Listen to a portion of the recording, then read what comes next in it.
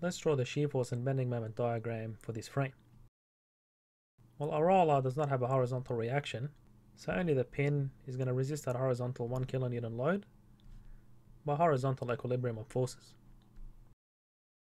And we also have a vertical reaction at the pin and roller. So if we take a sum of moments about the pin, with anti-clockwise being positive,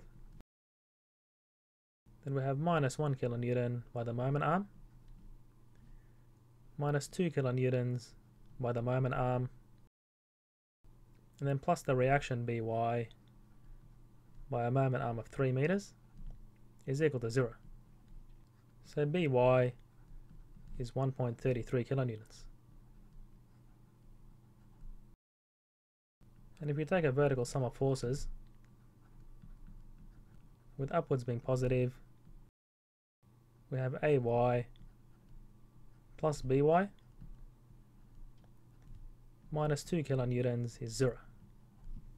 So that gives AY is 0.67 kilonewtons.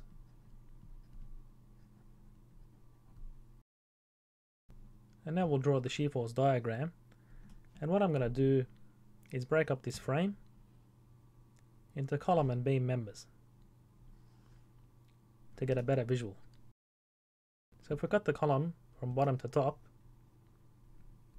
we have the shear force being constant at 1 kilonewton in the column.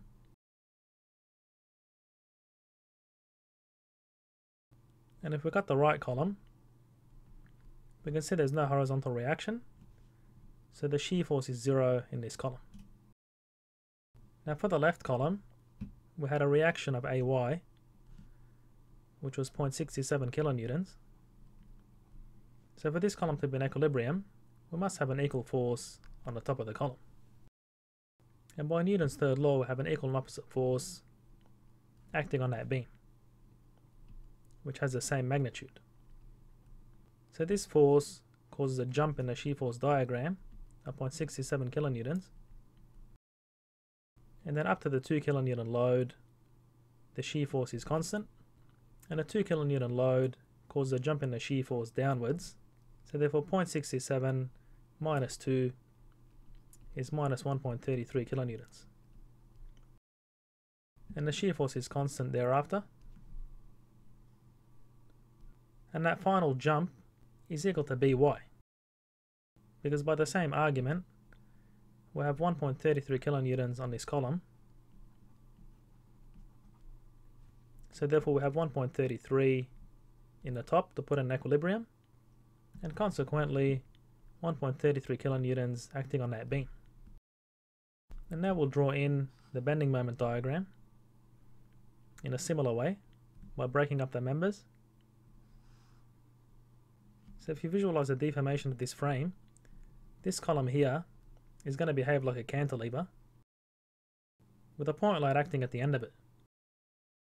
So if you cut that cantilever, we can see that the bending moment is the force by the moment arm.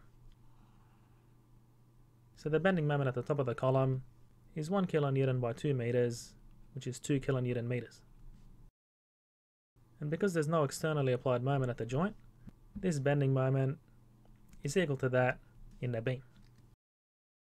Now on the other side, we saw that the beam had 1.33 kilonewtons acting on it, so 1.33 by the moment arm, which is 2 meters up to the point load,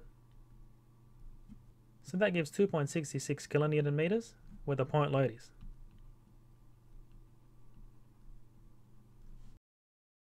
And the bending moment diagram is piecewise linear in that beam because there's only a point load acting on it.